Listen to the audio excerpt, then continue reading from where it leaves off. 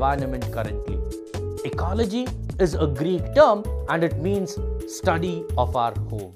So it is just that. It is the study of our home.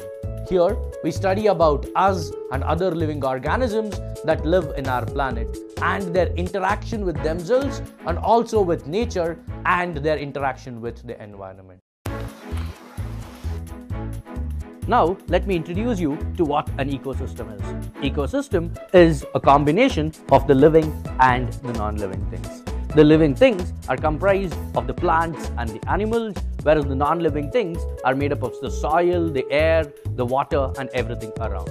And it's the combination of the living and the non-living that makes up the ecosystem. And in biological terms, the living things are called the biotic factors and the non-living things are called the abiotic factors. The biotic factors interact among themselves, so do the abiotic factors which interact among themselves, continuously changing the abiotic and the biotic worlds.